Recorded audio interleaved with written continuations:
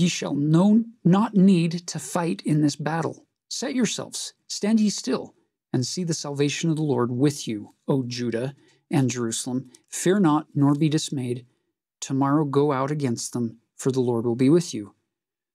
So, I don't know about you, but if I'm standing there, I'm, I'm looking at this huge multitude out there outside the city, and I'm hearing, we're not going to have to fight this.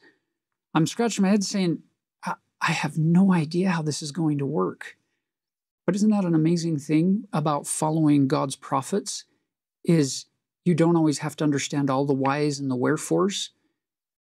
He gives you prophetic statements, and you use your agency to decide to either believe and trust and follow or not.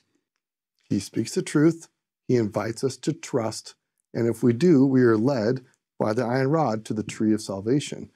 There, so even though these people aren't going to have to fight the battle, they will have to work on the battle internally in their own hearts and minds. Am I going to choose to trust God in the face of my perceived reality?